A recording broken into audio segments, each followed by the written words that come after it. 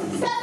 123暗闇の中音楽を聴きながら体を動かす女性たち。痩せたい人とかあとは体力つけたい人、うん、結構多いです。女の方はやっぱお尻とかあとお腹周りが多いかなと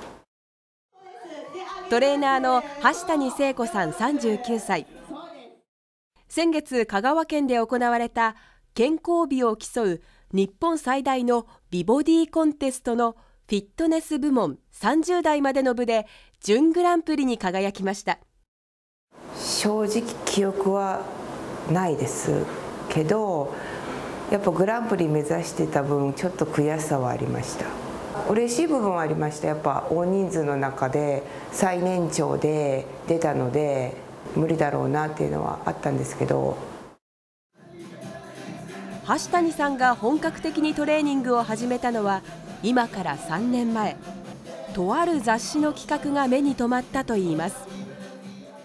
ターズはまあ脱げる体っていう企画だったんですけどそれに応募してそれにファイナルで残って東京まで面接に行ってまあ表紙は飾れなかったですけど、うん、そそこで結構自信はつきました。それまで何度もダイエットに挑戦しては挫折を繰り返した橋谷さん。体を鍛えることで外見はもちろん気持ちにも大きな変化が現れたといいますもともとは結構まあ人見知りはあるのとあとは、まあ、そのネクラではないんですけど、まあ、ネガティブな時が多かったりとか前向きになったのはありますやっぱ自信がちょっとだけつくのでついてくるので。トレーニングを通して経験した心の成長を生徒たちにも感じてもらいたいと指導にも力が入ります。普段あの面白いんですけども先生、えっと、トレーニングの時は、えっと、厳しいなっていうところも多々ありますけど楽しくやらせていただいてます。スタイルがよくってあの見本になるんですよ。だから私も頑張ろうかなってすごくいつも楽しんでやってます。実は橋谷さんにはもう一つの顔があります美容師です。美容師として働き始めておよそ20年。1年前に始めたトレーナーの仕事とこんな共通点があるといいます。えっと、美容師は服より上のこと表面のことで、えっと、トレーナーの方は服の中身なのでトータル